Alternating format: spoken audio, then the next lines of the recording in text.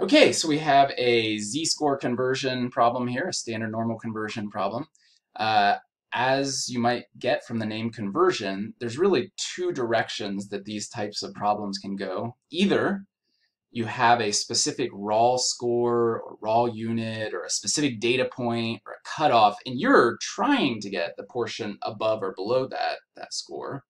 Or you're given the portion above or below some mystery score, and you need to find what that score is in, in original units or in, in a z-score units.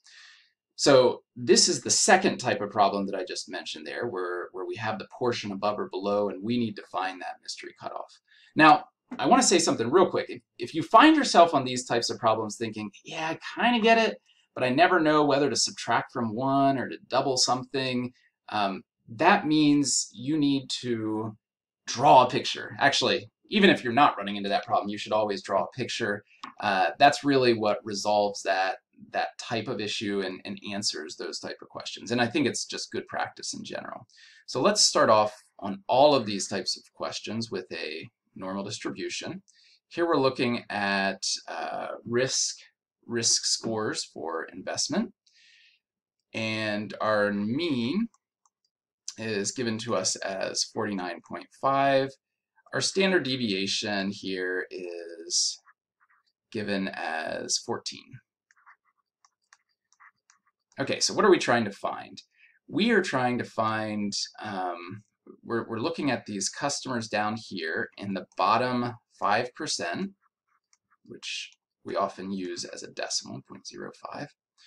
Um, we're trying to find this mystery score that separates out the bottom 5% from the other 95%.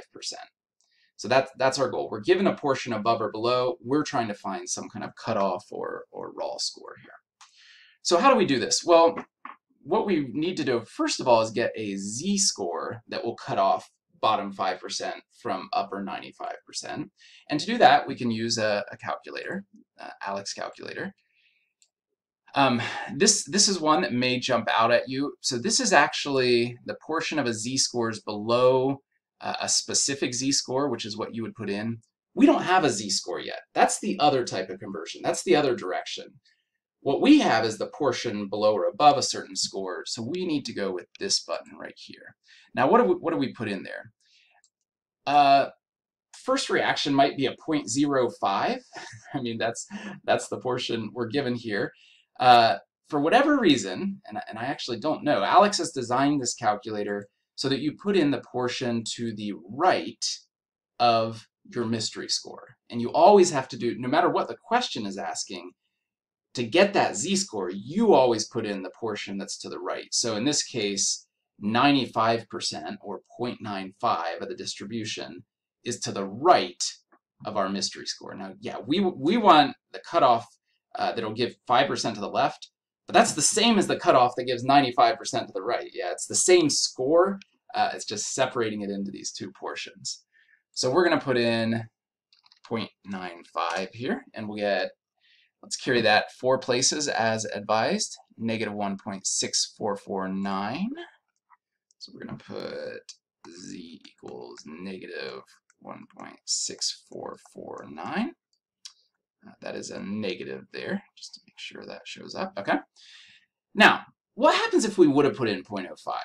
We would have got positive 1.6449 out, and that should have been a trigger, a cue that something went wrong because this mystery score we're looking at is below the mean.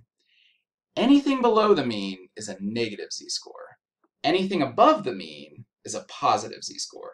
So if we're trying to find a z-score below the mean and we're getting a positive number, we know we're probably on the wrong side of the distribution. Luckily, it's symmetric, so um, probably all you need to do is multiply by, by negative 1 here.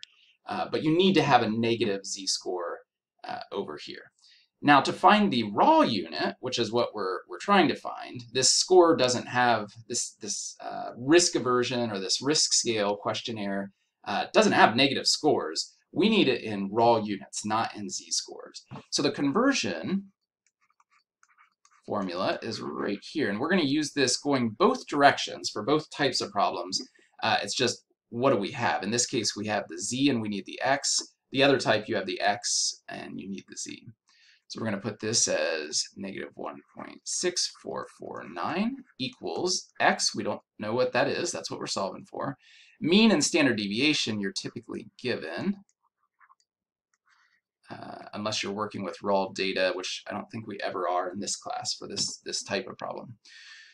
Okay, so we get this equation, need to solve for x. Um, be careful, don't add 49.5 to both sides. We are trying to isolate the x, but we need to multiply first. Uh, memories of PEMDAS in high school algebra here. So we're going to multiply both sides by 14. Then we can add that 49.5 to both sides to give us our x. So let's do that off to the side here on a calculator really quickly.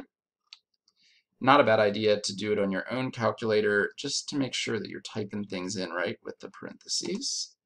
And that should give you x equals, approximately equals at this point, uh, and actually this was approximately also, 26.4714. So that's the raw sc score. Now another reality check you could do, um, notice that our picture shows that our raw score should be below the mean, and that means it should be less than 49.5, which it is.